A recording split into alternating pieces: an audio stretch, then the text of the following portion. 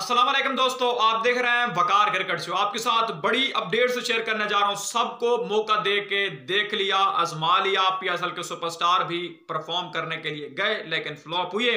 अब न्यूजीलैंड का दौरे पाकिस्तान जो होने जा रहा है। न्यूजीलैंड के लिए पाकिस्तान का क्या अब मुकम्मल नया स्क्वाड होगा? नसीम शाह को रेस्ट करवाना चाहिए सीरीज़ के अंदर। बहुत बड़ी हिदायत कर दी गई है कप्तान बाबर आज़म क्योंकि आपको पता है कि चार्ज संभालने जा रहे हैं। बाबर आज़म ही पाकिस्तान टीम को लीड करेंगे वनडे और टी के अंदर अगेंस्ट न्यूजीलैंड। नसीम शाह को रेस्ट करवाने के बारे में अब कहा जा रहा है कि नसीम शाह शायद बहुत ही ज़्यादा थकावट का शिकार हो चुका मुझे लगता है शादाब खान को भी टी ट्वेंटी के अंदर रेस्ट करवाया जाएगा।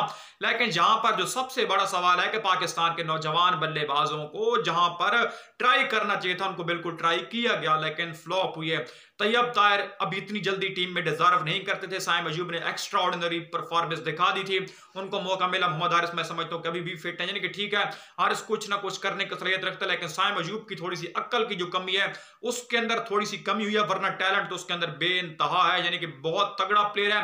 लेकिन थोड़ा सा देखना चाहिए कि जब अगर बॉल हिल रहा है, यार फजल हक फरूकी का एक दो ओवर देख लेते तो कोई इतना, यानी कि आपके लिए क्यामत तो नहीं आ जानी थी, लेकिन ये सब कुछ देख चलना पड़ेगा। मुझे लगता है अब्दुल्ला शफीक के लिए खतरे की घंटी बज चुकी है, आज़म खान के लिए खतरे की घंटी बज चुकी है।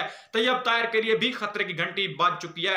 तो ये तीन ऐसे प्लेयर है, मुझे लगता है कि इनकी छुट्टी हो जाएगी। शाहीन शाह, अफरीदी, फखर जमान, हारिस रऊफ और इसके अलावा कप्तान बाबर आज़म, मोहम्मद रिजवान दोनों वापस लौटेंगे।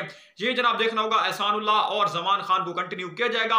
लेकिन कुछ और भी नाम है जिनको शायद बायर किया जाएगा या रेस्ट रेस्ट किया जाएगा स्पेशली शादाब खान को तो मुझे लगता है रेस्ट की वाक की ज़रूरत है। उनको तो दिमाग हिलजुल पता नहीं पता ही नहीं चल रहा। एक तो हाथों के ऊपर जो उन्होंने मतलब उंगली के ऊपर टेप वगैरह लगाई, उससे बॉल कर रहे हैं, उंगली भी ठीक नहीं है, लेकिन उसके बावजूद भी ओवर करवा रहे हैं, लेकिन इमाद वसीम से एक ओवर से ऊपर नहीं करवाना। यह जनाब, सबसे बड़ा मसला बन चुका है पाकिस्तान टीम का।